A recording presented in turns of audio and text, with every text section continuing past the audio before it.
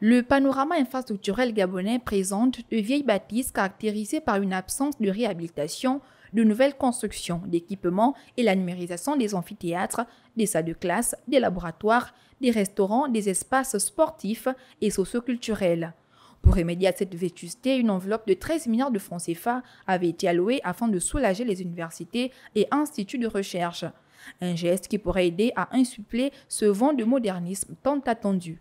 Mais quel bilan peut-on trisser de cette dotation budgétaire dix mois après? L'USTM a bénéficié d'une enveloppe de 3 milliards de francs CFA qui ont permis la réhabilitation intégrale et c'est grâce à cette enveloppe qu'aujourd'hui les cours ont régulièrement repris. Il y a une enveloppe de 3 milliards également qui a été affectée à l'US et aujourd'hui si vous allez à l'US vous allez voir sortie de terre des bâtiments pédagogiques et des laboratoires, dont les travaux sont avancés à, on va dire, un pourcentage estimé plus de 40%. Euh, Dans le détail, le financement est destiné à l'Université Omar Bongo, l'Université des sciences de la santé, l'Université des sciences techniques de Masoko et l'ensemble des grandes écoles publiques.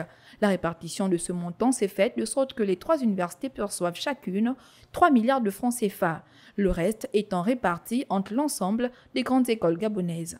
Et lorsque vous passez par l'USO, vous allez voir effectivement l'édification des bâtiments pédagogiques qui se fait actuellement. Vous avez l'INSET, où il y a également des constructions, à l'ENES, à l'Institut national des sciences et de gestion. Dix mois après, on peut voir la matérialisation de cette dotation de président gabonais de la transition à travers la réhabilitation et la construction des infrastructures pédagogiques comme ce bâtiment d'une capacité de 800 places au sein de l'UOB.